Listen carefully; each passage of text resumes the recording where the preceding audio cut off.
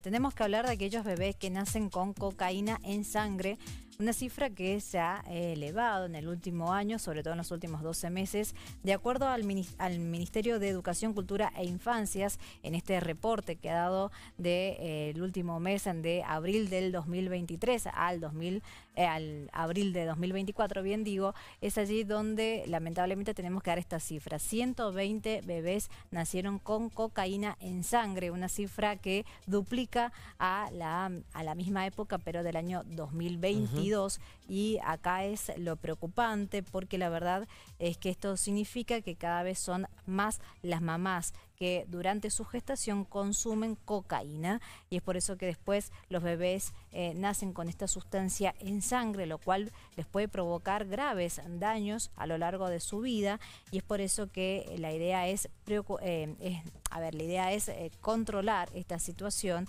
y por eso es que desde el Ministerio de eh, Cultura, Educación e Infancias trabajan sobre esto, sobre todo para concientizar a las mamás que están a punto, o las mamás gestantes, que están a punto de dar a luz, sobre todo para que no tengamos más bebés con cocaína en sangre.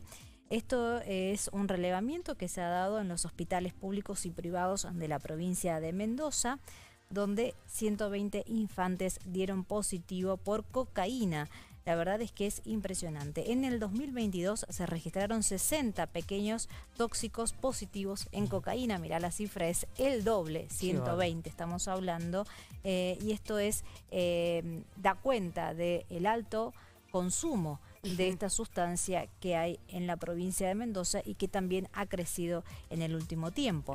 Y eh, pregunto desde el desconocimiento, este bebé que nace con cocaína en sangre, ¿nace adicto? Digo, ¿nace con una dependencia a esta sustancia tóxica? Porque también a tan corta edad tener que pasar por ese tipo de, de tratamientos me parece terrible. La verdad es que no sé cómo eh, a nivel medicinal... No sé qué tanto debe haber consumido ¿no? La, mamá gestante para, para que eso suceda, pero digo, obviamente. es muy probable si tenés la sustancia en sangre. No, por este, supuesto, pero ahí eh, se, al bebé se lo pone en tratamiento para poder sacarle esta sustancia de su cuerpo, pero no sabría eh, decirte cómo es ese procedimiento, porque la verdad es que eso se hace en neonatología, los especialistas tenemos excelentes médicos aquí en la provincia de Mendoza donde atienden a estos chiquitos que tienen que pasar, como bien decías Clarita, por esta situación desde tan temprana edad.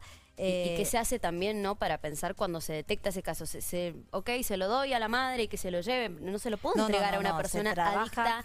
Claro, se trabaja a la cocaína. en la, eh, a ver, se trabaja mucho en la mamá, en el escenario familiar en el cual ese niño va a habitar y se hace un control también acerca de la madre, en este caso porque es la que consume. Pero sí se hace un seguimiento, sobre todo en todo lo que es el entorno familiar donde este niño va a crecer, cual le tenemos que garantizar, y es su derecho, un espacio que sea naturalmente favorable para su crecimiento en todos los aspectos sociales, de salud y por supuesto para que se le otorgue todo lo que necesita durante su desarrollo. Pero lo cierto es que preocupa esta cifra, por supuesto que el gobierno está trabajando para que esto no suceda o para que directamente esa, cifra vaya disminuyendo, porque es todo un cambio ¿no? que se va generando. Totalmente.